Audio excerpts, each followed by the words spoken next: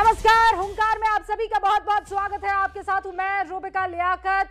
पश्चिमी उत्तर प्रदेश की जंग अब आप समझ लीजिए पूरे चरम पर पहुँच चुकी है। आज सीएम योगी, जहाँ मेरठ में, हापुड़ में दौरे पर है, वहीं समाजवादी पार्टी के अध्यक्ष अखिलेश यादव अब से कुछ देर पहले अपने सहयोगी दल आरएलडी के अध्यक्ष जयंत चौधरी के साथ प्रेस कॉन्फ्रेंस कर रहे थे। राष्ट्रीय लोकदल के अध्यक्ष जयंत चौधरी के साथ ये साझा प्रेस कॉन्फ्रेंस बस कुछ ही देर पहले खत्म हुई है। क्या कुछ कहा अखिलेश ने? क्या कुछ कहा जयंत चौधरी ने? हम चाहते हैं एक बार आप वो सुन लीजिए। लेकिन उससे पहले आप इन दो तस्वीरों को देख लीजिए। ये दो तस्वीरें काफ़ी है बताने के लिए कि अब पश्चिम में उत्तर प्रदेश के सीधी जंग और ये जंग अपने चरम पर पहुँच चुकी है। राजनीतिक जंग में कोई किसी को बख्शने वाला नहीं है और आखिर में जनता तय करेगी कि कौन सबसे कुशल साबित होता है। हापुड़ में योगी आदित्यनाथ को आप देख रहे हैं। अखिलेश पर एक बार फिर से निशाना साधा। उधर मुजफ्फरनगर में अखिलेश और जयंत चौधरी ने, ये देखिए अखिलेश के हाथों में वो अन्न की पोटली उन्होंने निकाली और ये कहा कि ये मैं साथ लेकर घूमता हूँ। लाल टोपी और लाल पोटली जिसमें अन्न है। पंद्रह दिनों में गन्ना किसानों को उनका बकाया भुगतान पूरा करेंगे अगर हम सरकार में आ जाते हैं। उधर योगी आदित्यनाथ भी लगातार हमला बोलते रहे और कहा कि विकास अगर हुआ है तो इन पाँच सालों में हुआ लेकिन आप सुनिए, साझा प्रेस कॉन्फ्रेंस में क्या हुआ और हापुड़ में कैसे दम भरा योगी ने।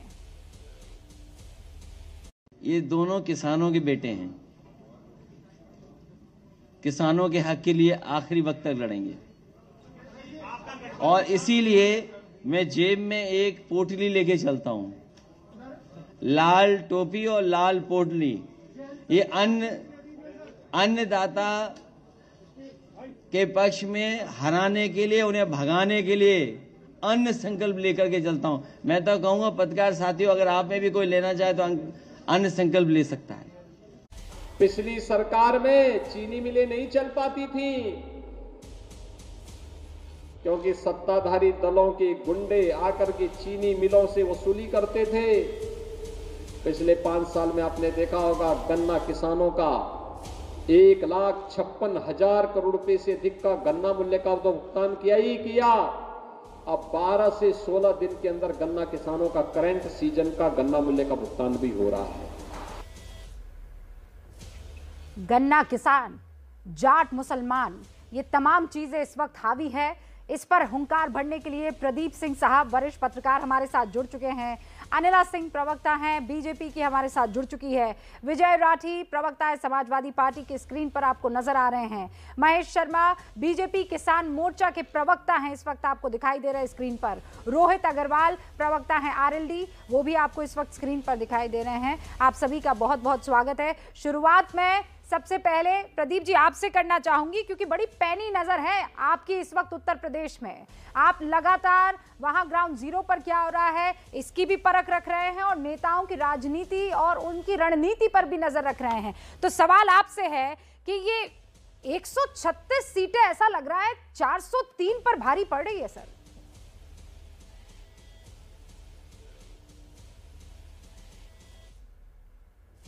नहीं, आप बिल्कुल ठीक कह रहे हैं, उसकी एक वजह दो तीन वजह है। एक तो शुरुआत चुनाव की वहाँ से हो रही है। उसका एक कारण है कि सबसे ज़्यादा चर्चा में है, चुनाव प्रचार वहाँ ज़्यादा हो रहा है, टिकट बढ़ चुके हैं, वहाँ नॉमिनेशन हो चुका है वहाँ।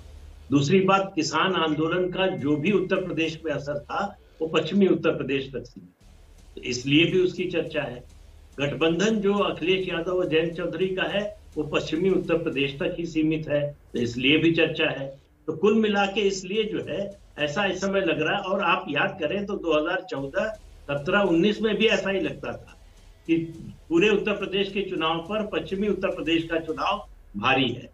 लेकिन इस देखिए ऐसा है गठबंधन तो हम देख रहे हैं पिछले दो चुनावों में अलग अलग बने।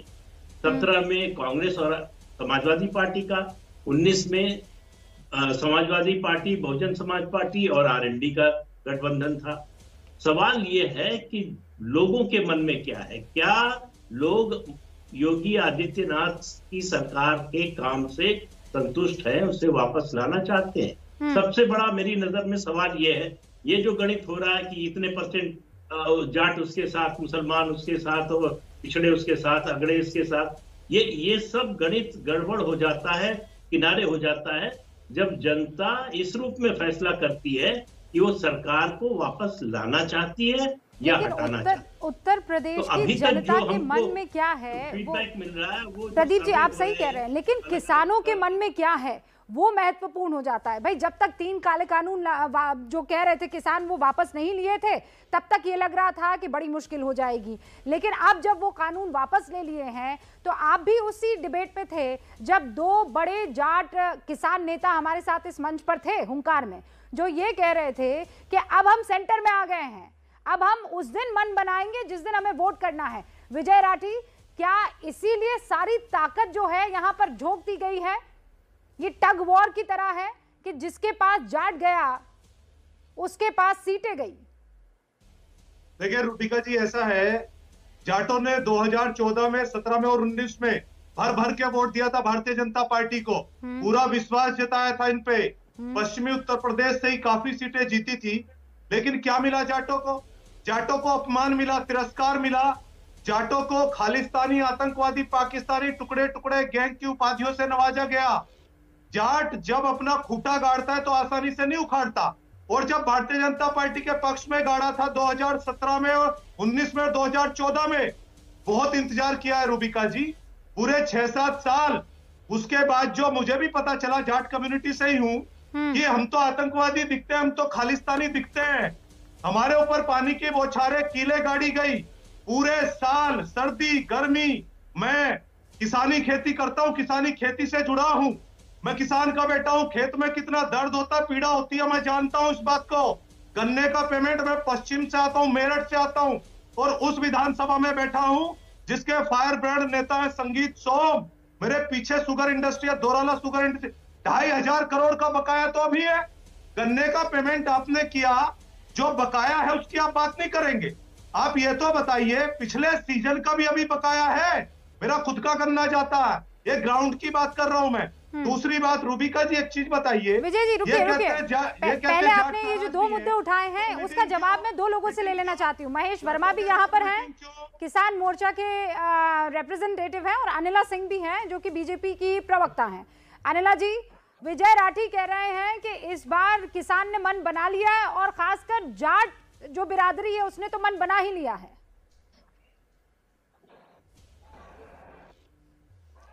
मेरी सबको राम राम। और ऐसा है कि समाजवादी पार्टी के प्रवक्ता अगर ये कह रहे हैं तो वो सिद्ध नहीं हो जाता। समाजवादी पार्टी के जो प्रवक्ता हैं ये समाजवादी पार्टी के वर्कर तो हैं तो सपोर्टर हैं। और ये एक बार- हाँ, हाँ, हाँ, समाजवादी पार्टी को ही वोट करेंगे वही भाषा बोलेंगे। अगर मैं हाँ। पश्चिमी उत्तर प्रदेश की बात करती हूँ अगर मैं पश्चिमी उत्तर प्रदेश की बात करती हूँ और खास तौर से मैं जाट कम्युनिटी की बात करती हूँ तो जाट तो बहुत राष्ट्रवादिता को मानने वाली कौम है। घर में एक बच्चा जो है खेती कर रहा होता है, दूसरा बच्चा सरहद पे बंदूक ताने हुए अपने देश की रक्षा कर रहा होता है, ये वो कौम है।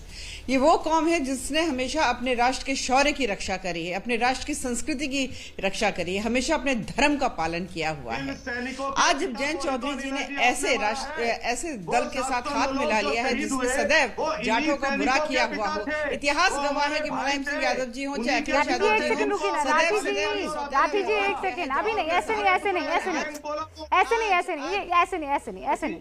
राठी जी रुकिए मैं आपको मौका दूँगी। आपने बहुत बढ़िया से अपनी बात रखी बगैर रोक टोक के। किसी ने नहीं टोका आपको आपने पूरी बात रखी। अब अनिला जी को रखने दीजिए मेरे दो और मेहमानों को और उसके बाद मैं आपको काउंटर करने का पूरा मौका दूँगी। ठीक है राठी जी? ओके अनिला जी। खत्म कीजिए बात।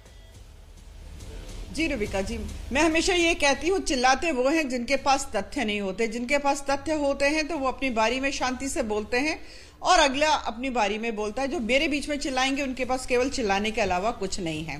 खैर कहते हैं ना कि अ, जो थोता चना बाजे घना वाला हाल होता है। तो जाट कम्युनिटी तो वो है अ, जैसा मैंने अब बताया कि राष्ट्र के शौर्य की संस्कृति की रक्षा करने वाली ये वो कौम है।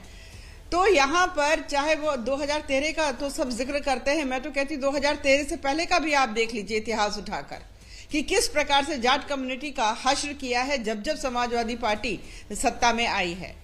जयंत चौधरी जी इस वक्त अपने आप को एक जाट लीडर बता रहे हैं, क्योंकि इनके पिताजी जो है, वो जाट थे चौधरी चरण सिंह जी तो केवल मैं ये नहीं कहूँगी कि एक राजनीतिक दल के चेहरा या मुखिया थे, वो हम सबके बेहद प्यारे, बेहद आदरणीय नेता रहे हैं। और भारतवर्ष में चुनिंदा जो सबसे टॉप के ऐसे लीडर्स रहे हैं, जिनको सब प्यार, प्रेम और आदर से याद करते हैं, वो चौधरी चरण सिंह जी रहे हैं। हाँ चौधरी अजीत सिंह जी ने ज़रूर इसको एक कौम राजनीतिक दल बना दिया और उसके बाद अनिला जी सवाल ये है कि आज आपको चौधरी चरण जी क्यों आज आपको चौधरी चरण सिंह क्यों याद आ रहे हैं? आज क्यों याद आ रहे हैं? जबकि उनके पोते साहब कह चुके हैं कि मैं चवन्नी नहीं हूँ जो पलट जाऊँ। कह दिया है तो उनको लुभाने की इतनी कोशिश क्यों हो रही है? रूबिका जी रूबिका जी मैं जवाब दे दूँ? पार्टी बिल्कुल भी लुभाने का प्रयास नहीं कर रही है। बिल्कुल लुभाने का प्रयास नहीं कर रही है। प्र, प्रवेश वर्मा जी ने जो कहा वो ठीक ही कहा कि आप गलत पार्टी में जा रहे हैं। उन्नीस में भी सपा बसपा के अलायंस में ये गए थे क्या था? ज़ीरो उससे पहले जो सत्रह के चुनाव में पहली मरतबा देखा गया है। चुनकर आए ये पहली मरतबा देखा गया है कि तो इस बार जो है सत्रह का चुनाव देख लीजिए आप लोग कोशिश कर आप लोग आप लोग आप लोग बार बार याद दिलाने की कोशिश कर रहे हैं मुजफ्फरनगर दंगों को। और ये बात पॉलिटिकल पंडित भी कहते रहे हैं कि इस इलाके में जाट जिसे वोट करता है मुसलमान उसे नहीं करता मुसलमान जिसे वोट करता है जाट उसे नहीं करता है। लेकिन क्या इस बार ये लोग साथ आ जाएँगे और आएँगे तो उसके पीछे का फॉर्मूला कैसा होगा? रोहित अग्रवाल, किस तरीके का फॉर्मूला होगा? कैसे लाएँगे? रूबिका जी रूबिका जी, देखिए, राष्ट्रीय लोकदल ने भाईचारा जिंदाबाद के नाम से समागम किए, जिसके अंदर हमने जाट भाइयों और जो मुस्लिम भाई थे, उनके बीच में जो खाई एक बनी थी, जो भारतीय जनता पार्टी जिस खाई को बार बार याद दिलाने की कोशिश करती है और जिस दर्द को बार बार कुरेदने की कोशिश कर रही है, उस खाई को भरने का हमने काम किया। आज हमारे जो भाई हैं पश्चिम उत्तर प्रदेश के जो किसान हैं वो पूरी तरीके से समझ चुके हैं भारतीय जनता पार्टी का क्या एजेंडा है। भारतीय जनता पार्टी ने पाँच साल कोई काम तो किया नहीं है। अब ये चाहते हैं धर्म के नाम पे वोटिंग हो जाए अब ये चाहते हैं हिंदू मुसलमान के नाम पे वोटिंग हो जाए अब ये चाहते हैं पर ये तो गन्ना के भुगतान के नाम पर भी वोटिंग मांग रहे हैं। हाँ, कह रहे हैं अच्छा, वो भुगतान जो मायावती ने नहीं किया वो भुगतान जो अखिलेश ने नहीं किया उससे कई ज़्यादा अमाउंट में भुगतान जो है वो योगी की सरकार ने किया है। रूपिका जी, देखिए 2014 में इन्होंने वादा किया था 14 दिन में गन्ना किसानों को भुगतान करने का। और हाईकोर्ट का ऑर्डर है कि अगर 14 दिन में गन्ना किसान का भुगतान नहीं होता है तो ऐसी स्थिति में आप ब्याज देंगे। अगर एक रुपए ब्याज देने का काम किया हो तो बताएँ। आज की डेट में सोलह हज़ार करोड़ रुपए गन्ना किसानों का बकाया है। एक बार भी इन्होंने चौदह दिनों में गन्ना किसान का भुगतान नहीं किया, जबकि किसान जो ब्याज जो ब्याज पे बैंक से पैसा लेता है, उसके ऊपर निरंतर उसको ब्याज भरना पड़ता है, और गन्ना किसान को आत्महत्या करनी पड़ रही है पश्चिम उत्तर प्रदेश में इसकी वजह से। दूसरी चीज़ जब ये विपक्ष में हुआ करते थे इन्होंने वादा किया था साढ़े चार सौ रुपए गन्ना किसान का हम्म। मूल्य करने का। और जब ये सरकार में आए तो इन्होंने कुल वादा कर दिया कि आप पंद्रह दिनों में गन्ना किसानों का भुगतान जो है वो पूरा कर देंगे। लेट मी कंप्लीट बीस सेकंड और। हाँ, हाँ। तीस सेकंड और डन देखिए इन्होंने इन्होंने वादा किया था कि साढ़े चार सौ रुपए करेंगे। और वहाँ पे इन्होंने क्या पैंतीस रुपए बढ़ाया जिसमें से पच्चीस रुपए तो खाली चुनाव में हार देख के बढ़ाया पौने पाँच साल बाद। तो आप बताइए आप किसान का रेट नहीं बढ़ाओगे और आप उससे वादा करोगे उसकी आय दोगुनी करने का? एक बात बताइए रोहित जी आप आप तो अच्छे से मुझे यकीन है कि गुणा भाग गणित अच्छे से समझते हम्म। होंगे। पैंतीस रुपए बढ़ाया लेकिन सबसे ज़्यादा भुगतान किया। आप लोगों ने सबसे ज़्यादा पैसा बढ़ाया लेकिन भुगतान बहुत कम किया। क्या बेहतर है? हाँ, रूबिका जी बताइए कि गन्ना किसान का गन्ना लोगे और उसका भुगतान नहीं करोगे क्या? जब अगर अगर आपने ज़्यादा भुगतान किया तो ज़्यादा गन्ना भी तो लिया ना? ज़्यादा पैदावार हुई ना? देश की रीढ़ की हड्डी कृषि के ऊपर हम्म। आधारित है। आप ये कह रहे हैं ज़्यादा गन्ना खरीदा इसीलिए ज़्यादा पैसा दिया तो फिर भुगतान हुआ ना इसका मतलब?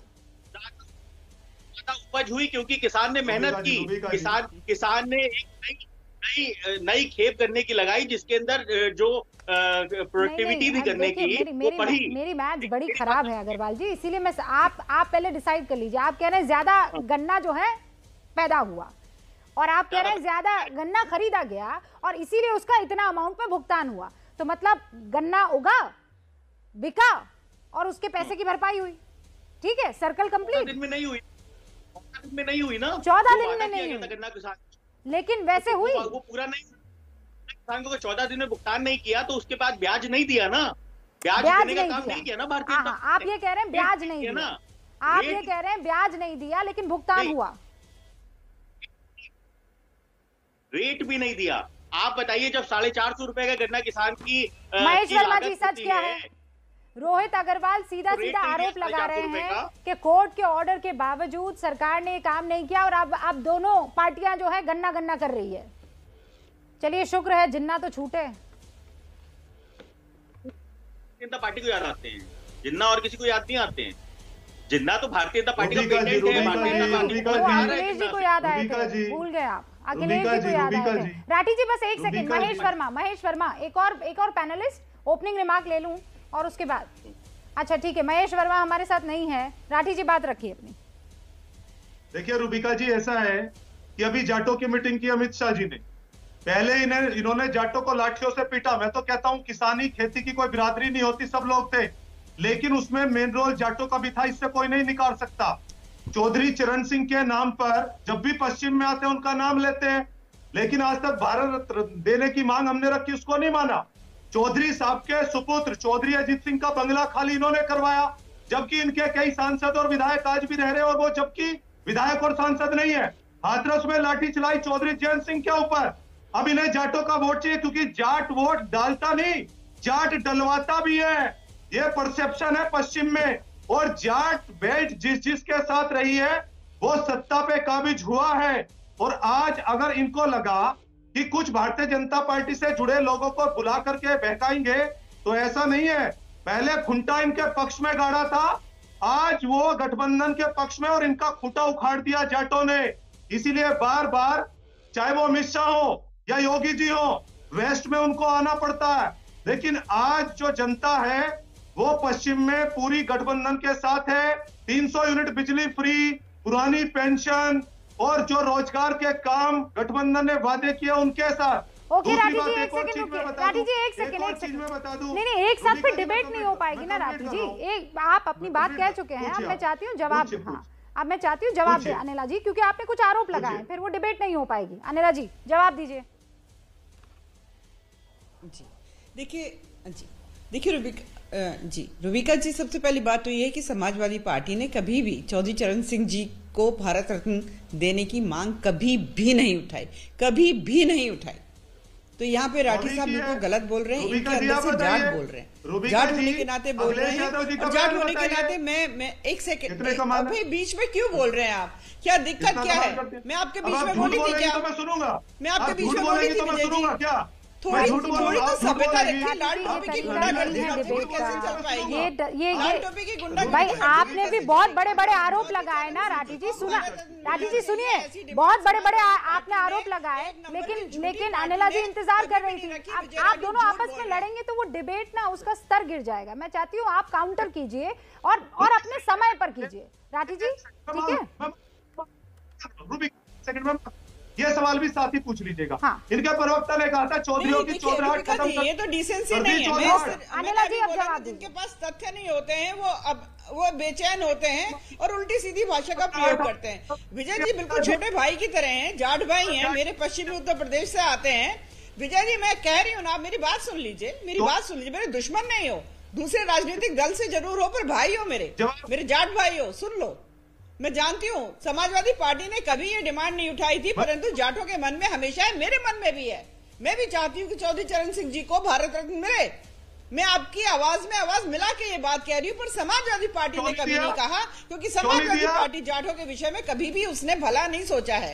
आज स्वार्थ के कारण ने स्वार्थ के कारण जैन जी ने जो देश थामा है इनको बहुत कानून जल्द इस चीज़ का एहसास हो जाएगा। गलत पार्टी में राठी जी ऐसा है कि अभी इन पाँच सालों में आपको भारत रत्न चाहिए था। जब जब जब आपके पास मौका था जब आपकी पार्टी सेंटर में थी तब आपने ये मुद्दा क्यों नहीं उठाया? तब आपने भारत रत्न की मांग क्यों नहीं की? राठी जी ये बताइए इन पाँच सालों में आपको सारा का सारा जस्टिस चाहिए? मुलायम सिंह यादव थे ना कैबिनेट में? एक दफ़ा थे। दो दफ़ा थे। कई मर्तबा वो सरकारों का हिस्सा रहे। एक बार नहीं समाजवादी पार्टी ने कहा। एक बार भी समाजवादी पार्टी ने नहीं कहा कि चौधरी मैं जानता था, चरण सिंह जी को था, आप भारत कहेंगे तब आपने क्या किया एक बार आपने भी नहीं कहा। और आज आप चौधरी लेकिन मेरे समझ में नहीं आ रहा है राठी जी। मुझे बताइए खुद अजीत सिंह खुद अजीत सिंह अलग अलग पार्टियों में अलग अलग सरकारों में मंत्री रहे हैं। क्यों क्यों? उस उस उस पुरस्कार की मांग तब नहीं हुई? आज की तारीख में आप ये सवाल जब उठा रहे हैं तो अपने गिरेबान में झाँक कर तो देखिए ना। प्रदीप जी। प्रधानमंत्री बनेंगे उसी दिन भारत रत्न मिलेगा चौधरी साहब को। ये लिख लीजिएगा सर अभी हैं सीएम की लड़ाई है। आप कहाँ प्रधानमंत्री की लड़ाई में अभी कूद रहे अभी रुकिए ना अभी तो सीएम की लड़ाई चल रही है ना। मुलायम सिंह यादव जी देश के रक्षा मंत्री रहे। प्रदीप जी प्रदीप वो वो यूपीए की सरकार का समर्थन करते रहे हैं। उस समय क्यों नहीं मांग की? क्यों नहीं ये काम करवा लिया? अगर वो चाहते थे कि चौधरी साहब को भारत रत्न मिले तो जब वो सरकार में थे, नेशनल फ्रंट की, देवगौड़ा और गुजराल की सरकार में थे तो उस समय क्यों नहीं दिलवा दिया? एक बात, दूसरी राठी साहब ने अभी एक बात कही। उन्होंने कहा, जाट वोट डालता ही नहीं, डलवाता इनकी बात बिल्कुल सही है। ये होता था जब तक मायावती मुख्यमंत्री नहीं बनी। पश्चिमी उत्तर प्रदेश में जाटों का वोट नहीं पड़ता। जाट गाँव घेर लेते थे और वोट देने नहीं देते। मायावती जाटों मुख्यमंत्री बनी उसके बाद से मतलब उसके बाद से जाट का वोट पड़ने लगा। तो मतलब वो जो दुगनी ताकत मतलब थी जाटों की जाट के साथ वो जो दुगनी ताकत थी मतलब जाटों की वो खत्म हो गई। अब उनके पास से अपने ताकत अरे आप लोग एक सेकंड एक सेकंड एक सेकंड विजय राठी जी मुझे लगता है पहली बार हुंकार का हिस्सा बन रहे हैं और आपको ये बात समझ में नहीं आ रही है। मैं आपसे तीन बार रिक्वेस्ट कर चुकी हूँ और अगर अब आप किसी के बीच में बोलेंगे तो मैं आवाज़ बंद कर दूँगी बहुत क्लियर है। मैं लोकतांत्रिक डिबेट में यकीन रखती हूँ। फिर आपको कह रही हूँ विजय राठी जी आप बात सुनिए और उसके बाद काउंटर कीजिए। आपके साथी बैठे हैं। गुंडा घोषित वो किसने कहा गुंडा? प्रदीप प्रदीप जी के प्रदीप जी के मुँह से ऐसी चीज़ें कभी नहीं निकल सकती है। वरिष्ठ है, पत्रकार हैं बरसों से उनके साथ डिबेट बैठी हूँ। किसने कहा गुंडा बोला उन्होंने? जाट लड़े हैं देश के लिए। ये victim तो card यहाँ पर मत खेलिए विजय तो राठी जी। चापलूस रहे। ये तो अंग्रेज़ों के चापलूस अरे कौन है? वरिष्ठ पत्रकार है प्रदीप जी। जानते भी तो हैं आपको। मैं इनकी बात नहीं कर रहा हूँ मैं तो फिर किनकी बीजेपी बात के कर रहे हैं? बीजेपी के समर्थक की बात कर रहा हूँ। हाँ तो बीजेपी के टाइम पर बीजेपी को बोलिएगा ना अभी रुक जाइए राठी जी। और बीजेपी की भाषा बोलेगा उसे सिर्फ़ एक चश्मे से देखेगा मैं उसकी बात कर रहा हूँ। सुनिए जो दोनों पक्ष नहीं रखेगा। राठी जी दोनों राठी जी आप। यहाँ यहाँ बैठकर सर्टिफिकेट नहीं आप इन आप यहाँ पर बैठकर किसी को सर्टिफिकेट नहीं बांटेंगे। बिल्कुल नहीं बांटेंगे। और प्रदीप जी जैसे वरिष्ठ पत्रकार के लिए मैं यहाँ बैठकर एक लफ्ज नहीं सुनूँगी Rathi ji very clear I I am very clear about this और आप प्रदीप जी अपनी बात कंप्लीट करेंगे और उसके बाद आप अपनी बात रखिएगा। वरना मैं आपकी आवाज़ बंद करूँगी और मैं कह रही हूँ बंद करूँगी कह कर बंद करूँगी सही कह रही हूँ। रुक जाइए राठी जी अब। रुक जाइए। देखिए, जी पश्चिम उत्तर प्रदेश गन्ना उत्पादक इलाका है। वहाँ पर जो गन्ना किसान हैं उनकी तीन मुख्य मांगे हमेशा रहे एक उनके गन्ने का भुगतान हो और समय पर। दूसरा गन्ने का समर्थन मूल्य बढ़े। तीसरा बिजली के दाम कम हो। हम्म। इस सरकार ने जो पिछली सरकारें थी उनकी तुलना में भुगतान के मामले में सबसे बेहतर काम किया है। मैं ये नहीं कह रहा हूँ चौदह दिन में भुगतान मिल जाता है। जब ये जो बात उठा रहे हैं ब्याज की ये अखिलेश यादव की सरकार थी तब इलाहाबाद हाई कोर्ट का फैसला था। लेकिन प्रदीप जी अच्छा लग रहा है कि इस बार वाकई सिर्फ़ जन्ना जिन्ना की नहीं और सिर्फ़ गन्ने की इस, इस अब जबकि चुनाव बिल्कुल नज़दीक के बात हो रही है। लेकिन ये जो जो ये, ये जो पलायन के का ज़िक्र आज योगी आदित्यनाथ ने किया है। अखिलेश का पलायन वाला वार जो योगी का रहा है अखिलेश पर तो समाजवादी पार्टी और आरएलडी की तरफ़ से यानी समाजवादी पार्टी के अध्यक्ष अखिलेश यादव और आरएलडी के जयंत चौधरी की तरफ़ से आज साझा प्रेस कॉन्फ्रेंस हुई मुजफ्फरनगर में। वहाँ सीएम योगी पर गोरखपुर जाने का आरोप उन्होंने लगाया। सुनिए क्या कहा। इस बार भारतीय जनता पार्टी का राजनीतिक पलायन होगा और आपने देखा नहीं, हमारे बाबा मुख्यमंत्री का कैसा पलायन हुआ है? वो पहले अयोध्या से टिकट मांग रहे थे, मथुरा से टिकट मांग रहे थे, प्रयागराज से टिकट मांग रहे थे भारतीय जनता पार्टी ने ऐसा उनका पॉलिटिकल पलायन किया है कि उन्हें घर भेज दिया वापस। अनिला जी आप लोग मुद्दा उठाते कैराना के पलायन का। अखिलेश ने कहा कि बाबा पलायन कर गए। नहीं नहीं अखिलेश जी से पूछ लेना चाहिए करहल क्या आजमगढ़ में है? करहल कॉन्स्टिट्यूएंसी जहाँ से ये चुनाव लड़ेंगे क्या वो आजमगढ़ में है? देखिए, इतना झूठ बोलने वाला ये राजनीतिक दल है। सबसे पहले इनके जो अध्यक्ष जी हैं, अखिलेश जी, उन्होंने ये बोला कि भाई देखिए, मैं चुनाव नहीं लड़ने वाला, मैं बिल्कुल चुनाव नहीं लड़ूँगा। फिर देखा कि भाई भारतीय जनता पार्टी तो योगी आदित्यनाथ जी को चुनाव लड़ाने के मूड में है। तो फिर इन्होंने कहा कि अच्छा ठीक है, पार्टी डिसाइड करेगी। जबकि सबको पता है, आज जो पीछे पोस्टर भी लगा हुआ था, एक एक तरफ़ जैन जी बैठे थे, उनके ऊपर चौधरी अजीत सिंह की फ़ोटो लगी हुई थी, एक तरफ़ अखिलेश जी बैठे हुए थे, उनके ऊपर मुलायम सिंह यादव जी की तस्वीर लगी हुई थी, इसी को परिवारवाद बोलते हैं। उन्होंने कहा, पार्टी डिसाइड करेगी। अब जब हमारे योगी महाराज का टिकट डिक्लेयर हुआ तो फिर वो बोले कि अच्छा आजमगढ़ जो है ना आजमगढ़ के लोग जो हैं वो डिसाइड करेंगे कि मैं कहाँ से चुनाव लड़ूँगा। तो आजमगढ़ के लोगों ने बोला कि साहब मेंबर ऑफ़ पार्लियामेंट आप हमारे यहाँ से बने और हमने आपका काम धाम देख लिया। बिल्कुल बेकार है हम आपको फेल करते हैं और आजमगढ़ से आप चुनाव मत लड़िए वरना आप हारेंगे आप यहाँ से जाइए। दोनों कुछ कहना चाह रहे हैं। ठीक है। पहले राठी जी जवाब देंगे और उसके बाद वहाँ चले रोहित जी एक सेकंड। पहले विजय राठी भाई उनके नेता पर आरोप लग रहा है ना? हाँ विजय राठी जी।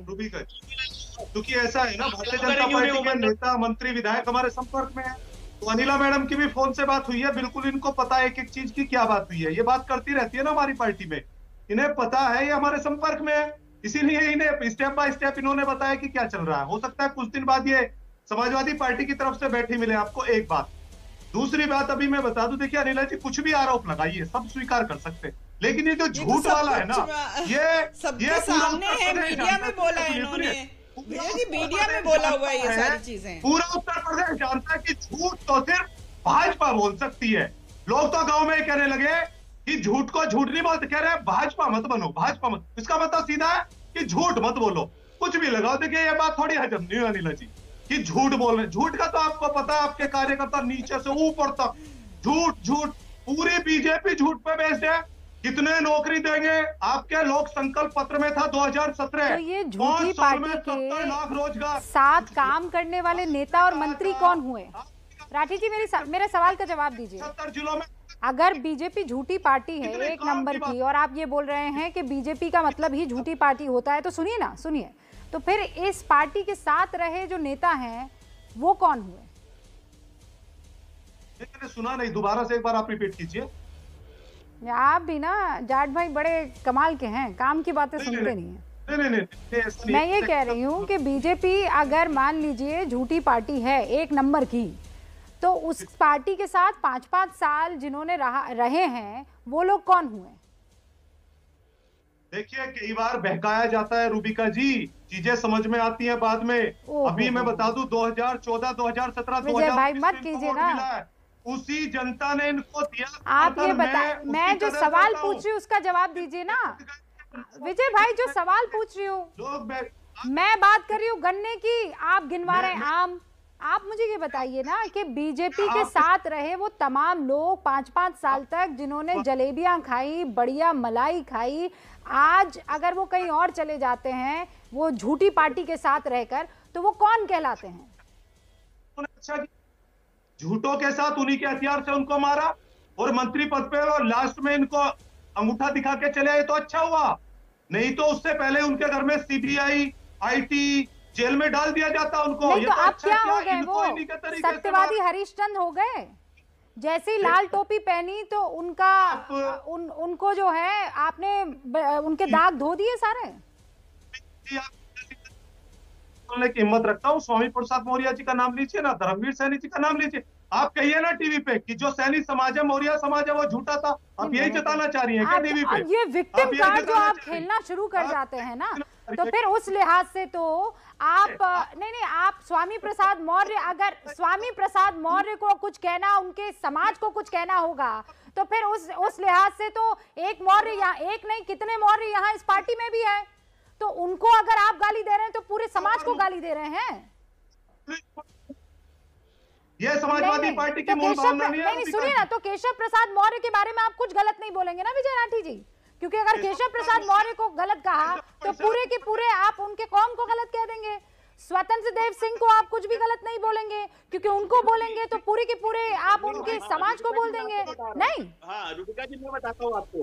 जब केशव हाँ, प्रसाद अग्रवाल मौर्य जी, को आइए। स्टूल पे बैठाया जाता है नहीं आप बात समझिए। जब केशव प्रसाद मौर्य को स्टूल पे बैठाया जाता है और हम ये कहते हैं पिछड़े का समाज पिछड़े समाज के व्यक्ति का सम्मान नहीं कर रहे हैं ये तो इस पे हमने क्या गलत कहा?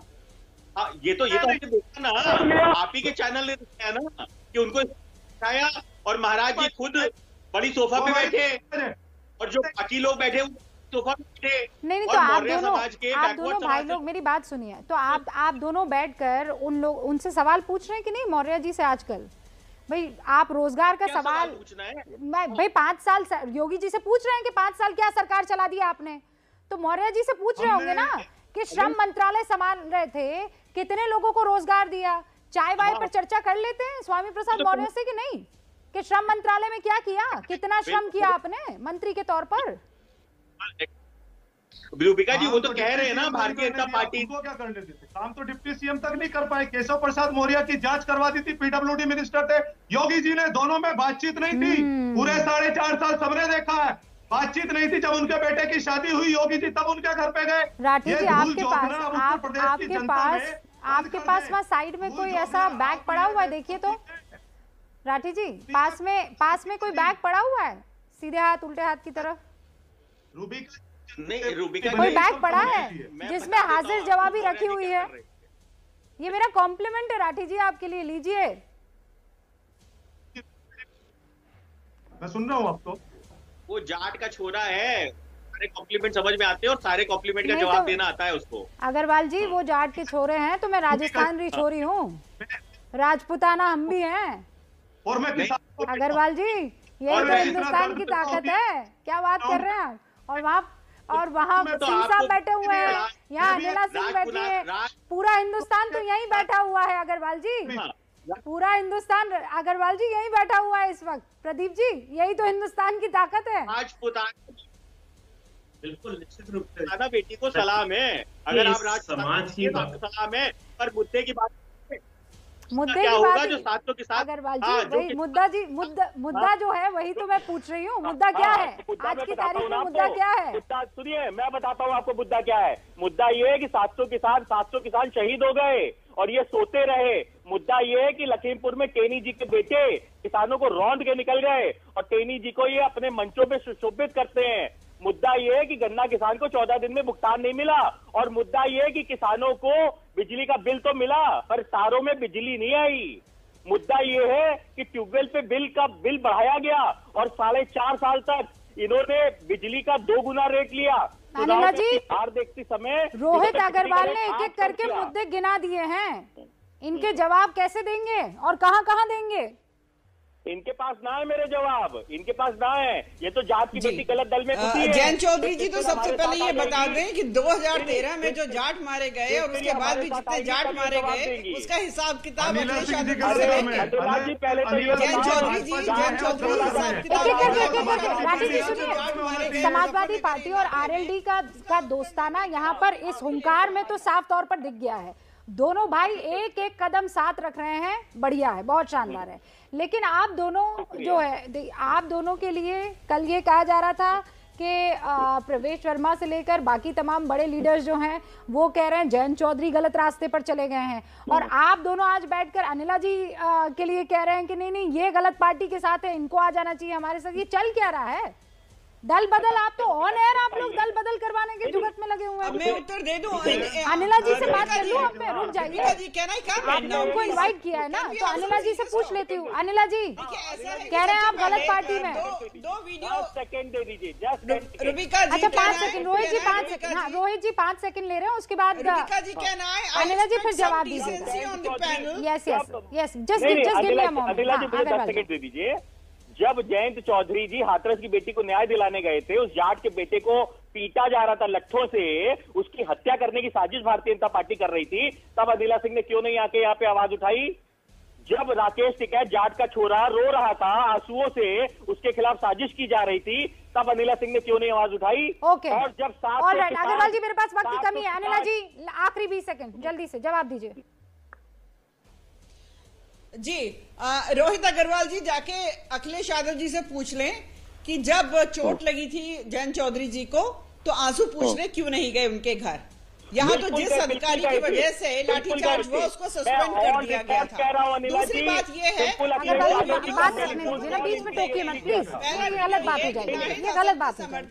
हो और आदिल चौधरी ये कह रहे हैं कि जाटों में हम घूस भर देंगे। तो यहाँ पर समाजवादी पार्टी के और आरएलडी के प्रवक्ता बैठे हैं तो इनसे पूछ लीजिए। विजय जी पूरा डिबेट खत्म हुआ अब जाकर आपने कहा है। कि मैं भी कुछ कहना चाहता हूँ वरना बगैर बगैर बगैर उंगली उठाए आप कह रहे थे। चलिए अभी मेरे पास वक्त की कमी है लेकिन दिलचस्प है लड़ाई क्योंकि अगर पश्चिम में आपने अपना खूटा नहीं गाड़ा तो फिर आप समझ लीजिए कि लखनऊ के लिए आपका रास्ता कठिन हो जाएगा।